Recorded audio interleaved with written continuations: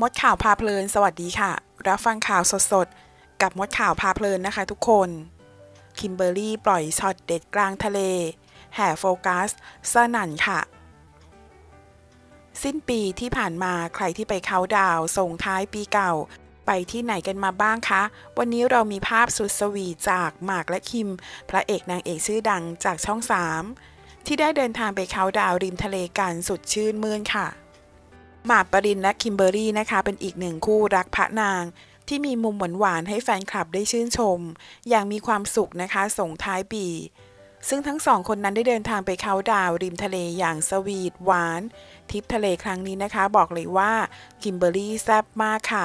ทะเลเดือดกันเลยทีเดียวค่ะ เมื่อคอลเลกชันชุดว่ายน้ำทั้งชุด one-piece แล้วก็ two-piece นะคะ ที่ทำเอาน้ำทะเลครั้งนี้เดือดปุดๆค่ะ เพราะว่าจากความแซบซี้ดของนางเอกสาวคิมเบอร์ลี่นั่นเองค่ะนอกจากน้ำทะเลจะเดือดนะคะ ความสวีทหวานของหมากปริญแล้วก็คิมเบอร์รี่อย่างเล่นเอาสีน้ำทะเลแทบจะเปลี่ยนเป็นสีชมพูนะคะ